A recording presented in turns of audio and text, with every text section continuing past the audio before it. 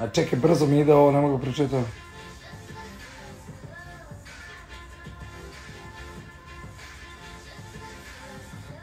Mm, ništa, stvarno nekad ovaj, pretjerujete, ima dobrih pitanja, ali neka me ovdje pitanja nerviraju ova napušavanja i to da mogu ove ljude što napušavaju da ovaj, vidim ovako uživo, to bi mi bilo drago.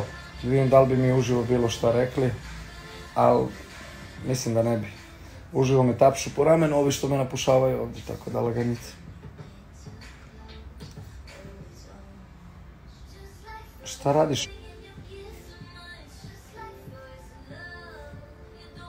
To, Haribo Razaro, aj sad ću da dodam da pogledam. Ljudi, eto, kratko sam vam se javio, čisto onako iz Blejce, malo da izblejim sa vama. I to je to, šta bih vam dalje rekao, nemam pojma. Ljubi brat, ajde čujemo se možda kasnije, možda ovih dana. Budite mi dobri pametni. I ovo što manje, što manje se bavite tuđim životima, bavite se svojim. To vam je moj predlog.